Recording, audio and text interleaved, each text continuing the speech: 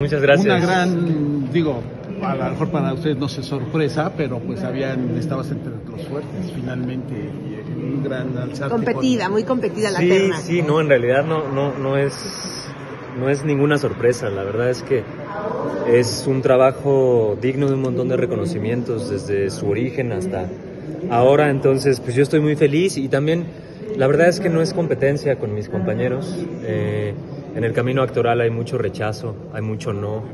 Entonces, este también va para ellos. No nos dieron nada de tiempo para hablar allá adentro, pero, pero Pero nada, no puedes se decir. comparte con todos mis compañeros y con mi familia y nada. Estoy ¿Qué sentido feliz. le da a tu carrera tener ahora esta presión? Eh, pues es el segundo, lo cual es un apapacho enorme para mi carrera, sobre todo porque es un premio otorgado por la gente que también hace cine, que está a mi lado, que me la encuentro en los sets. Entonces, pues nada, es como si tu familia te dijera vas por buen camino y eso es un honor.